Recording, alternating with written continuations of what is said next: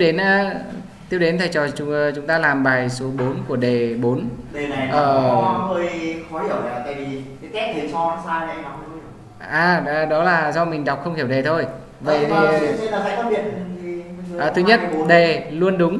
Ờ, thì cảm ơn Ngọc Anh đã tài trợ chương trình này nhưng đề luôn đúng. Ờ, nếu nếu có sai thì à, thầy. à, à, sai rất ít khi chính xác vậy thì đề bài là cho số nguyên dương n k và cho thầy trong khi điểm Đợt phát như nào mà anh em? Cho n k và dãy a a1 a2 an chúng ta cần chọn ra k phần tử khác nhau.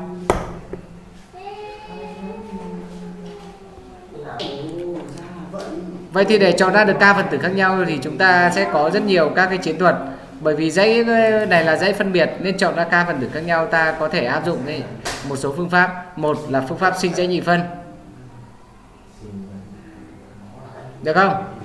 Vậy như vậy thì à, ta đưa vào, đầu tiên ta xác định bài toán, xem đề bài cho cái gì. Nên vừa rồi Ngọc Anh có hỏi là nó hơi khó hiểu đề bài. Tại sao output nó lại ra bằng 10 Ngọc Anh, tập trung bài này đây là một bài khá hay và tương đối khó.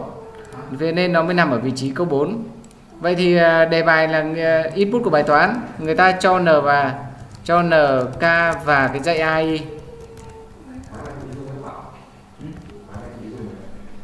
Rồi output của bài toán là đưa ra số cách chọn k phần tử khác nhau ờ, của dãy ai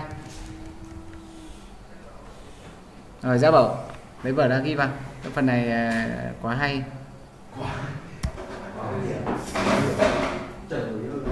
Bài số 4 đề đề 4 Ờ, xin nghỉ phép tí, đừng có bị vắng phải không? Rồi qua năm nay em biết để vào chuyện rồi. Ờ, năm nay em- có đứa sắp bắt đầu đi đánh Việt lót rồi đấy. Tập trung Điểm đó là gì? Thế cho em mời cái keyboard đi, đi em chưa bị hỏi. đang ghi video. Rồi à, vậy thì à, ta có cái thuật toán 1 thì ta nhận thấy như sau. À, bài toán này người ta yêu cầu là nào. Đang đi video buồn cười. Yêu yêu cầu của chúng ta là à, chọn ra k phần tử. Từ tập n phần tử. Và vậy thì ờ, người ta hỏi là đếm cách chọn. Vậy thì ờ, bài toán này thì ta có hoàn toàn có thể tiếp cận theo cái phương pháp liệt kê dãy nhị- phân, có đúng k số 1 được không? Ra bảo. Liệt kê tất cả các dãy nhị phân có k số 1 đấy. Vậy thì ta đưa về bài toán. Ta đưa về bài toán. Là đếm số dãy nhị phân độ dài n. Có đúng k số 1 bài này chúng ta đã làm chưa?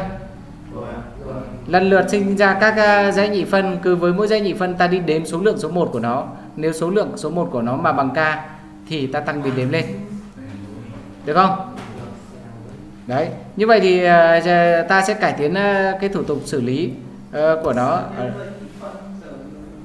bây giờ bài này thì ta đẩy về sinh dây nhị phân bây giờ ở đây thì thầy sẽ cài đặt à, luôn à, cái voi xử lý để các bạn à, hình dung ờ, hoàn toàn được. Đây là chỉ là một trong cái cách.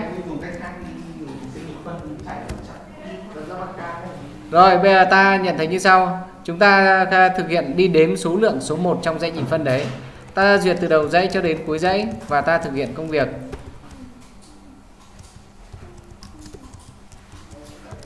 Cứ với mỗi dãy nhị phân thì à, ta nhận thấy rằng là Ta có S của ta à, có, à, cộng bằng thằng AI luôn.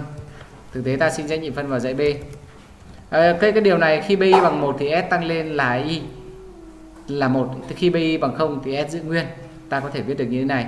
Nhưng để dễ hiểu hơn thì ta có thể ghi là nếu thằng B thứ Y à, có giá trị bằng 1 thì S của ta tăng lên một đơn vị. Đấy. Ở đề bài người ta họ yêu cầu hãy liệt kê dãy nhị phân có k phần tử. Vậy thì ta có ghi là nếu S của ta mà bằng k thì ta ghi à, thì ta tăng đếm lên. Mỗi thế thôi.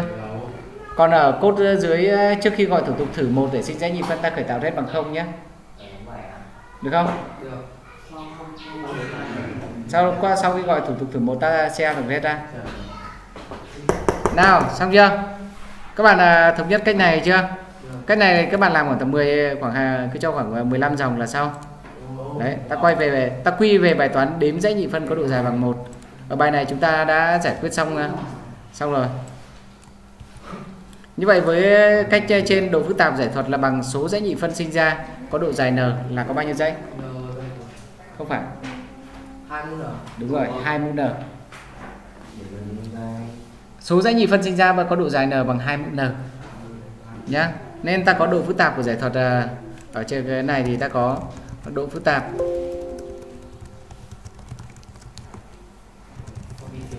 Đấy rồi Wow.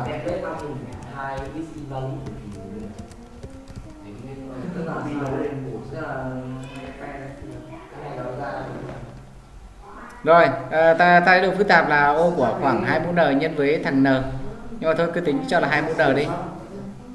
Cái này à, các bạn có thể cốt được không thiện?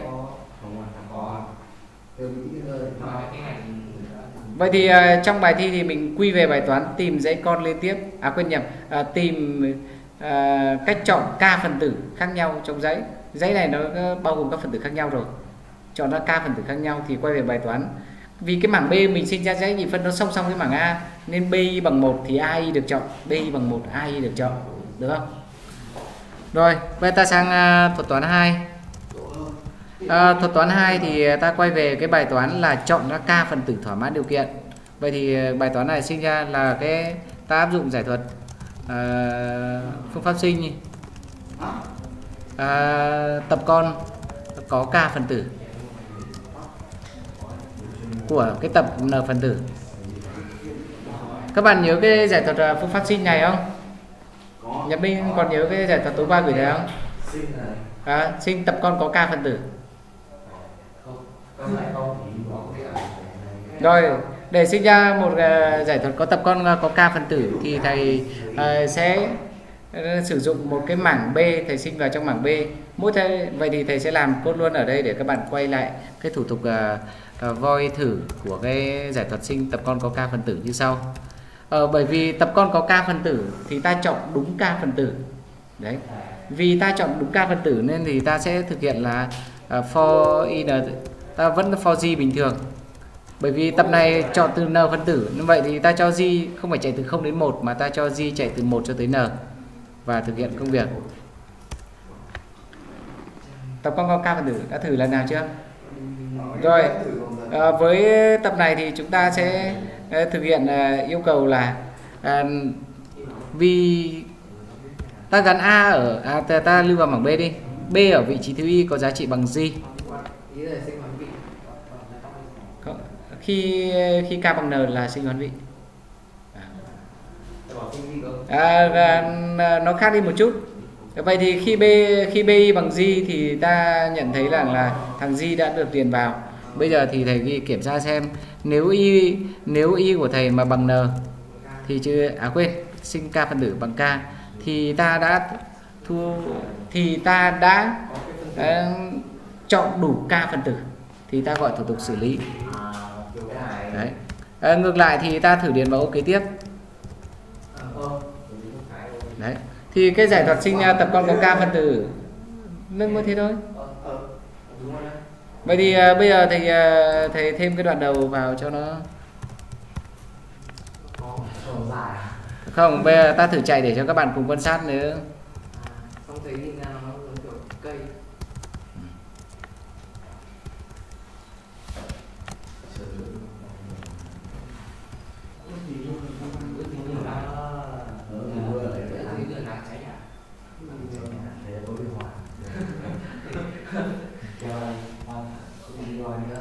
rồi bây giờ ta quay ra thủ tục xử lý thầy cho mình sẽ à, thực hiện công việc là for từ đầu mảng cho đến uh, cuối mảng. Ta đưa nó ra.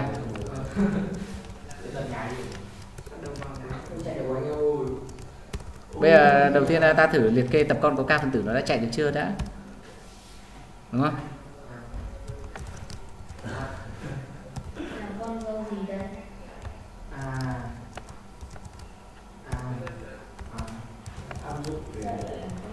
Rồi ta sẽ how I rồi xem bẩn không cái có quầy cái này này Không anh xem đối hai bây giờ đây rồi ô quá tôi nào ta cùng uh, quan sát nhá. Bây giờ thầy uh, uh, thử chạy chương trình à, ca chưa khai báo kiểu bài khó nhất từ nào trên YouTube Đấy này Kiểu nếu mà cho ABC xong rồi là nếu mà Mình xem như một mấy nhỉ năm ba nhỉ đấy ôi mày Ôi. có hai con tử mà Thì nó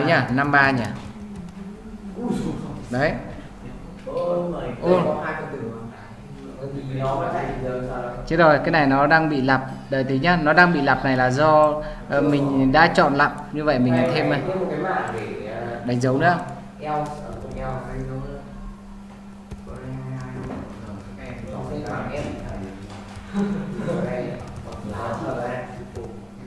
à, ta phủ cái mảng này về bởi vì vừa rồi ta à, đánh dấu các cái phần tử đã được dùng.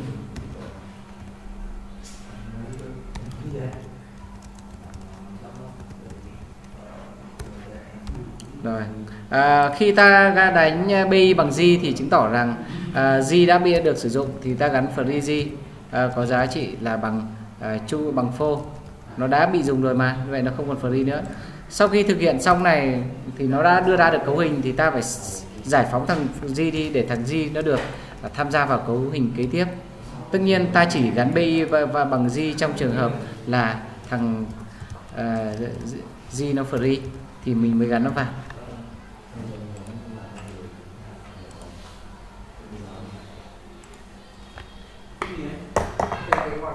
Thì bày kế tiếp 3132 à.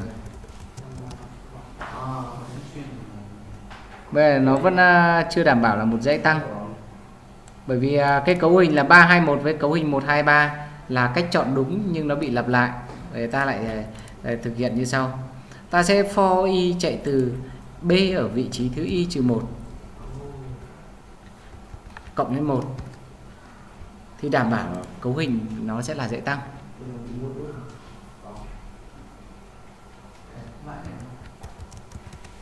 Đấy. Được chưa? Như vậy thì ờ, cứ mỗi lần sửa một chút thì ta nhìn thấy rằng đây là cái, đây là tất cả các cách chọn ra 3 phần tử trong 5 phần tử. Được chưa? Đây ta liệt kê ra. Mà theo phương pháp phương pháp ờ, đếm cái này thì được chưa? Ngọc Anh, ta thấy có mấy câu hình? Cái này có mấy câu hình? Có phải 10 câu hình không? Thế thì ta đúng rồi đấy em ạ. Rồi ờ, như vậy thì vừa rồi thì ta làm như thế các em cũng đã hiểu thêm được rằng cái mảng free này để đánh dấu các phần tử không bị dùng lại. Ờ, khi dùng thằng nào rồi khi gắn bi bằng g thì g đã dùng rồi thì ta đánh dấu nó. Ta đánh dấu nó là à, chưa à, là dùng rồi. Sau khi gọi thủ tục à, thử chạy hết xong đoạn này ta xử lý xong là thu, thu được một cấu hình rồi thì ta phải giải phóng nó để nó tham gia vào cấu hình kế tiếp ở trong chương trình chính ta mem xét thằng này và ta đưa thằng này ra. Như vậy tới đây các bạn đã hình dung được à, công việc à, sinh tập à, hoán vị sinh tập con có k phần tử rồi chứ? Đấy như vậy thì ở đây thì chúng ta sẽ à, sinh tập con có k phần tử thầy viết lại ở đây để cho các em cùng quan sát. À, bảo làm được cái này chứ? Bảo ra bảo. Để các à, cấu hình nó không bị lặp lại ờ, không tạo thành một hoán vị thì ta sẽ for giống như hôm trước cái bài quay lưu phân tích số còn nhớ không nhỉ? Để về phân tích được một cấu hình mà nó bắt đầu tăng ờ, theo chiều tăng dần thì cái thằng điền ở phần lần lần sau sẽ bằng thằng trước đó cộng lên một đơn vị. Đúng không? Ví dụ như thầy điền được một hai rồi thì cái phần kế tiếp phải điền từ 3 trở đi. Đấy. ok không? À, lưu ý ta cần phải mem xét ờ, cái mảng free trước khi gọi thủ tục này nhé vậy trên đây là ok. Vậy thì bài toán này quay về bài toán đếm tổ hợp liệt kê tê, tập con có k phần tử và số lượng cấu hình thu được à, chính là bao nhiêu lần gọi thủ tục xử lý thì là đó là bấy trên đó chính là bấy nhiêu nghiệm. À, số cấu hình. Ừ. Trong một set thì có theo kiểu set set một set hai vị trí một vị trí hai vị trí ba kiểu xét C thì C1 C2 C3 thử ờ, binh đi. Thầy cũng chưa dùng kiểu đấy lần nào. À, số cấu ờ, thằng vector thì được nhưng mà VSS thì chưa thử. Số cấu hình ờ, thu được là kết quả của bài toán rồi như vậy ở cái chỗ này có gặp khó khăn gì không Nhật Minh ừ, như vậy cái bài toán này là một trong những cái bài toán quay về bài toán kế tiếp là bài toán liệt kê ra một cái tập con có uh, k phần tử bằng cách phương pháp sinh tập con có k phần tử Rồi, quay lui mình không làm như này cái Kia làm đấy. à, số lượng cấu hình của nó thì không nó không phải n cái đường nó vẫn là ck của n nhé? Rồi vậy thì à, kế tiếp thì ta sang à, thuật toán 3 ở cái bài này thì à, thực tế khi đi thi thì à, ta chỉ cần làm một trong các cái cách. Và cái mấu chốt của cái tác giả muốn hỏi cái bài này các em có phát hiện ra rằng bài này là bài chọn ra tập con có cả phần tử hay không? Để giải quyết bài này ta có rất nhiều cách. Ta vận dụng phương pháp sinh dãy nhị phân ta có áp dụng tập sinh quay lui sinh tập con có k phần tử. Rồi à, kế tiếp nữa thì à, ta có nhận xét à, là cái số lượng tập con.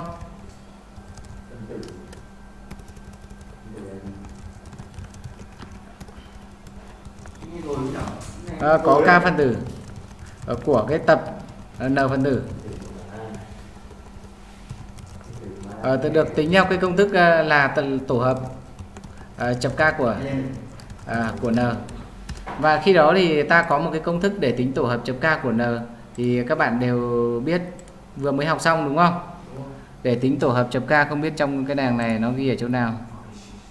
Ôi ơi. Đây rồi. Để tính tổ hợp chấm k của n, thì ta có rất nhiều các cái công thức ck của n, mà cái công thức dễ nhớ nhất trong mọi bài thi ta được. Rồi. đây, bằng là, bằng gì nguyên nhỉ? Ck của n. À, n giai thừa chia k giai thừa nhân với n trừ k giai thừa. Cái này các bạn à, cần phải nhớ nhé bởi vì lên hết đại, lên đại học các em lại tiếp tục học cái này trong chương trình toán học cao cấp. Vậy thì à, ta có thể tổ chức theo công thức này nhé à, vậy thì làm theo công thức này thì ta sẽ thực hiện cái công việc là bước 1 thì ta thực hiện là nhập n. Bước thứ hai ta thực hiện là ừm, à, tính những cái biểu thức s thì gọi hàm giai thừa.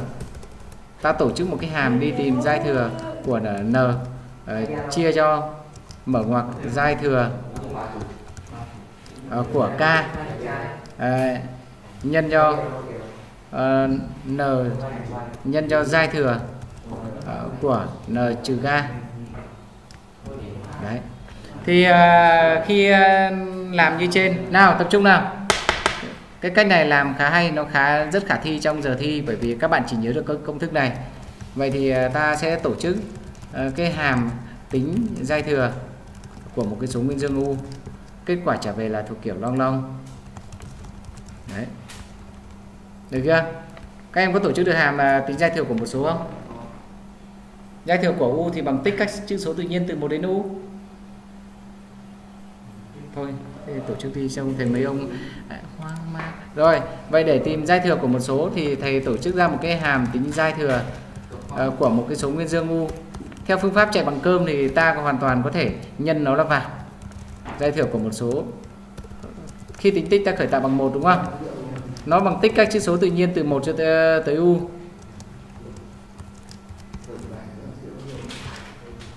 Và khi đó ta có s thì bằng uh, s nhân với y có mỗi thế thôi. Hàm tính sai thừa dễ nhớ không? Minh.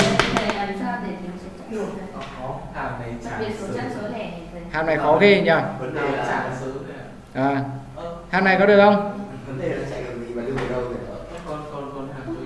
À, theo cũng bởi vì khi tính giai thừa của một số thì ta cũng có thể tổ chức theo hình thức quay lui cũng được. Thì ta à, có thể return ra là bằng thằng u uh, nhân với giai thừa. Uh, thừa của thằng u trừ một. À, ví dụ như ba giai thừa thì bằng hà- 3 nhân với hai giai thừa. Đúng không? Đấy. Thì ta cũng có thể ghi ra hàm tính giai thừa tổ chức như trên nhé. À ừ quên mất. À, đây thêm à, cái neo của nó nữa. Nếu u của ta mà à, bằng một. À, thì ta à, return một. Là sao không mình không. Mình chạy cho tới một thôi.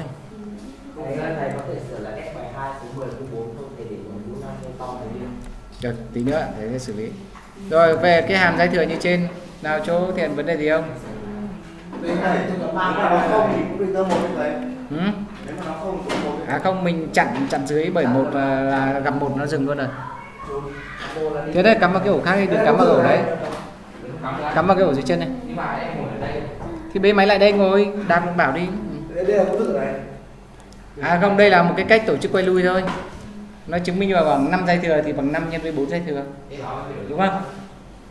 Rồi bây giờ Cái bước một à, bước một là bước hai bây giờ ta gọi hàm dây thừa của n chia cho dây thừa của k nhân n trừ k theo đúng công thức theo đúng công thức này rồi đó là cái cách thứ ba.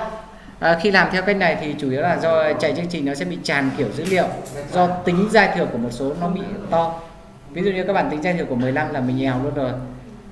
Tên tích của 15 chữ số là nó èo rồi. À. INT 64 chạy gì nhiều rồi. Như vậy thì cải tiến ờ, giải thuật này thì ta lại ờ, cái, áp dụng công thức khác. Thì ta vẫn kết luận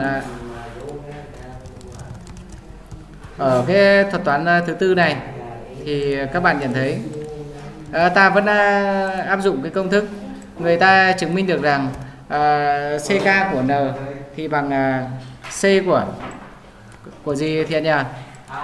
CK của N thì bằng C của gì?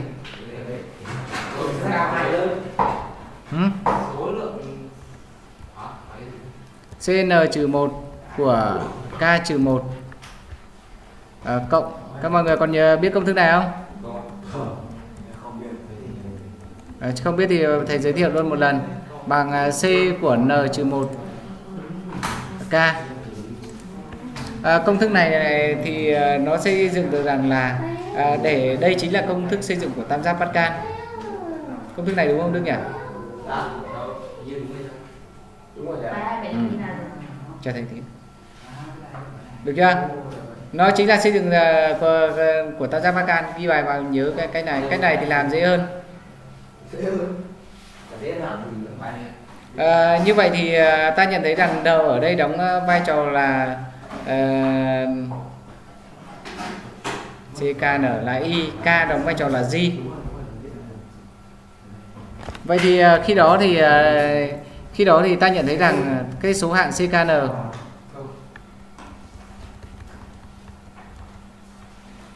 Ờ, là cái phân tử ở thứ k à, trên ờ, hàng thứ n của tam giác Pascal đấy. Là phần tử là vậy thì vì từ đó thì ta sẽ quay về bài toán là cho- n và k em hãy xây dựng tam giác Pascal có kích thước là n. Vậy thì làm theo cách này thì ta nhận thấy rằng đây là một cách dễ nhất ta có thể nghĩ ra được.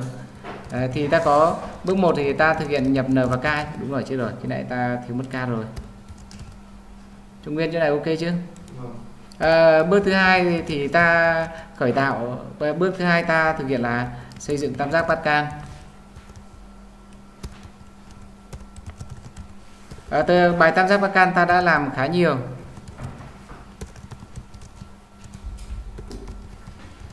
À, để xây dựng tam giác tam giác Pascal thì thầy lưu nó vào một cái mảng C là mảng hai chiều. Thì à, khi kiểu long long và thầy có C11 bằng mấy? Tam giác Pascal đỉnh của tam giác Pascal là số mấy? Là số 1 tất Ờ, cả không à, cho chạy từ C00 à? Nó lệch từ 1 đến 1 đâu à? Một à thì bởi vì tam giác Pascal nguyên bản của nó là tính hàng từ chỉ số 0 trở đi rồi bây giờ thì ta phủ toàn bộ cái cột đầu tiên bởi giá trị 1 và các bạn nhớ tam giác cam cái cột đầu tiên của nó là toàn số 1 không?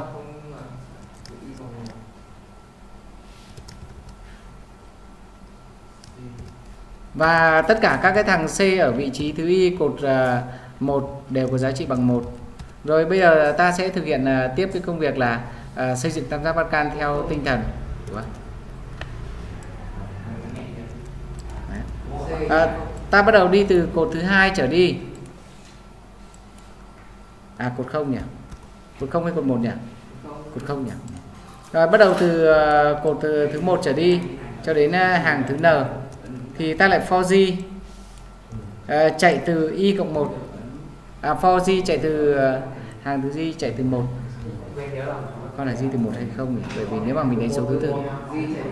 Rồi từ một uh, g nhỏ hơn nó bằng y g cộng cộng.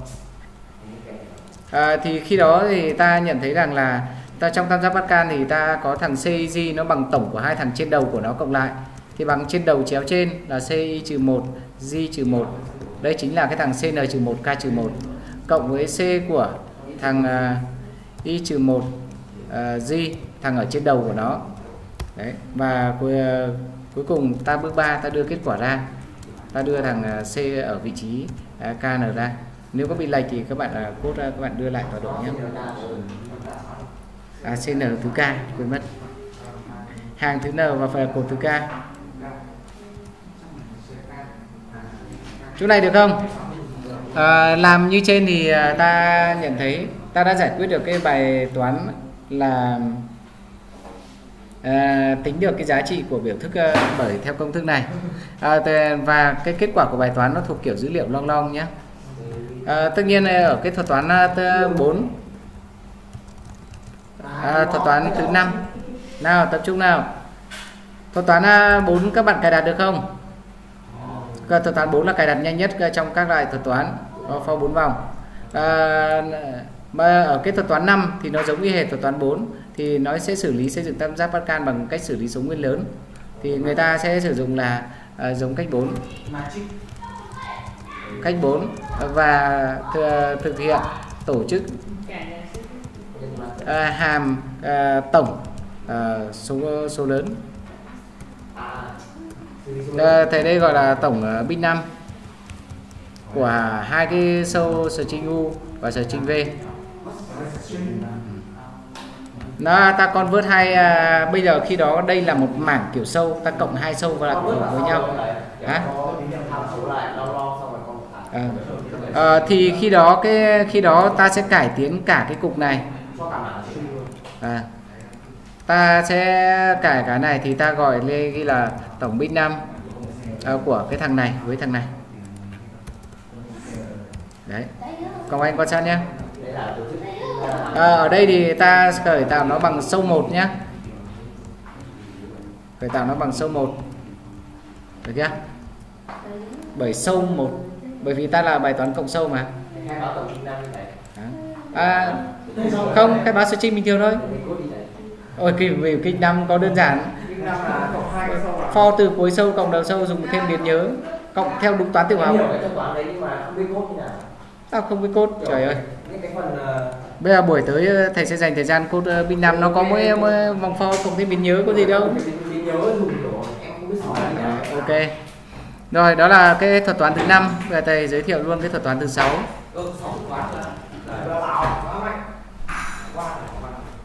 À, cái bài toán thuật toán 6 này.